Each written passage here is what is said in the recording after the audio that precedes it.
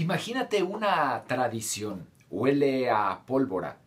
Es una batalla, la representación.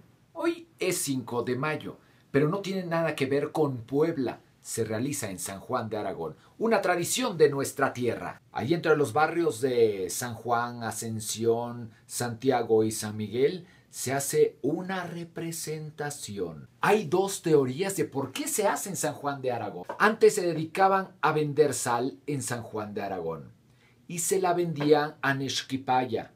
Allá vieron cómo se realizaba esta gran obra teatral y entonces les dieron sal y a cambio recibieron los diálogos. Otra teoría tiene que ver con un soldado que participó realmente en la batalla del 5 de mayo y que llegó a vivir a San Juan de Aragón.